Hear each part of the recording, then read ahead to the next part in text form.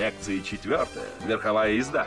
Предвосхищение событий – необходимое качество для спортивного наездника. Лошадь является символом определенного статуса и на Западе обеспечивает нужную мобильность. По поводу женщин-наездниц существуют разные мнения.